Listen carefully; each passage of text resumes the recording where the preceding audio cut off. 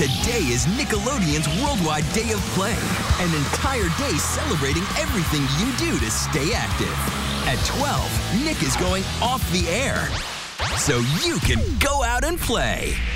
Then at 3, we're back on with the SpongeBob SquarePants movie. And at 5, catch back to back episodes of Victorious. It's all part of Nickelodeon's Worldwide Day of Play.